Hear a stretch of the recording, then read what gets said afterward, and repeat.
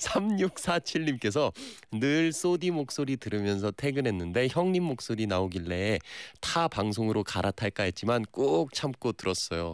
근데 정들만 하니 가신다니 섭섭하네요. 고맙습니다.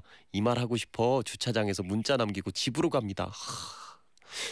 야, 이 사연 읽는데 좀 마음이 뭉클한 게 있네요. 네, 이제 조금 있으면 저와는 공식적으로는 이별이고 소디가 다시 돌아오니까요. 조금만 기다려 주십시오. 네, 그래도 소디가 아마 잘 또 퇴근길 책임져 주실 거예요. 음, 아, 그러면은 차에서 오랫동안 기다리셨나 보다. 그쵸? 어, 그러면은 차에서 상쾌하게 글 남기시라고 제가 차량용 공기청정기 보내드리겠습니다. 네.